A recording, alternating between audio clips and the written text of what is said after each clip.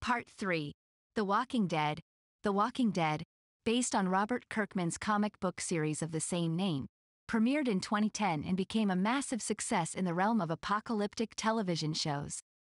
Set in a world overrun by zombies, or walkers, the series followed a group of survivors led by Sheriff's Deputy Rick Grimes as they navigated dangers both human and undead. What made The Walking Dead stand out was its focus on character development amidst the bleak post apocalyptic landscape. The show explored themes of survival, morality, loyalty, and community against the backdrop of relentless walkers. It often pushed boundaries with its shocking deaths and gut wrenching moments that left audiences emotionally invested. The series relied on strong performances from actors such as Andrew Lincoln as Rick Grimes and Norman Reedus as Daryl Dixon to bring depth to their characters' motivations and struggles. Over time, The Walking Dead evolved into an exploration of humanity's resilience in the face of adversity. The Boys, released later in the decade, The Boys shook up superhero themed television shows with its darkly humorous take on society's obsession with superheroes.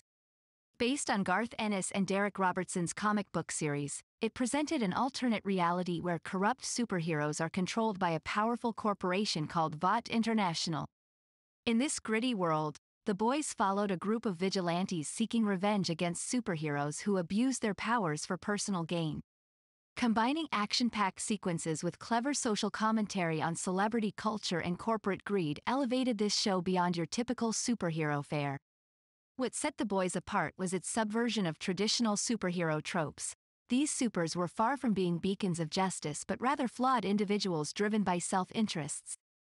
Karl Urban shined as Billy Butcher alongside other standout performances like Antony Starr's charismatic yet sinister portrayal of Homelander.